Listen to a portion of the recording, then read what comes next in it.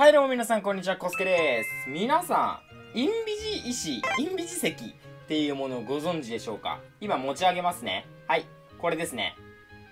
何も見えませんよね。置きますよ。ここ。はい、ここ。ここにあります。インビジ石。これ、まあ、普通にね、鉱石適当にどこでもいいんでカンカン掘ってたらたまに出るんですけど、まあ、透明なんでね、見落としがちということで。で、これね、見て。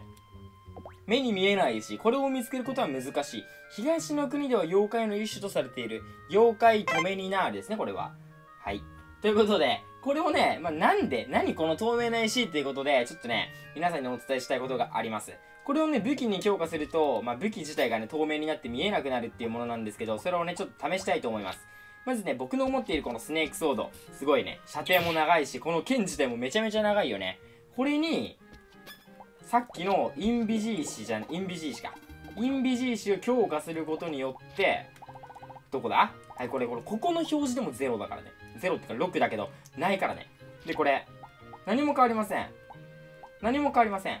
さあ、作りました。でも、ここで武器を構えると、はい。見て、何も持ってないかのように見えるでしょ。でも、斬撃だけ出るんですね。どう？こよくない？これね、広いとこでやったらね、めちゃめちゃかっこいいから。これはもうね、なんか手から、手が剣になってる感。手が剣になってる感がありますよっていうお話です。そういうこと。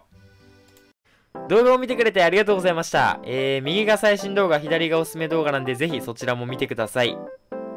チャンネル登録もお願いします。それだけ？ダメな。もうちょい伝えて。何？バイバイって。